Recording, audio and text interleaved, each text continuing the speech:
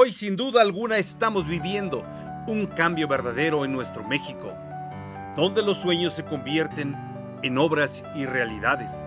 sobre todo con una confianza que reanima a seguir con un cambio de transformación y la participación democrática de todos los ciudadanos. Por eso es importante que la participación se convierta en historia y este 10 de abril del 2022 vamos todos juntos a escribirla para que quede como precedente en una página de la democracia participativa. Cuando se inició, si un gobernante hace bien las cosas, pueda concluir su mandato, pero cuando no haga las cosas bien, tengamos la oportunidad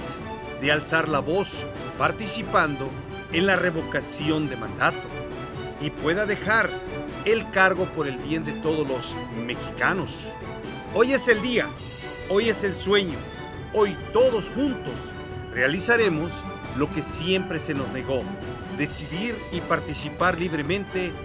Alza la voz, participa este 10 de abril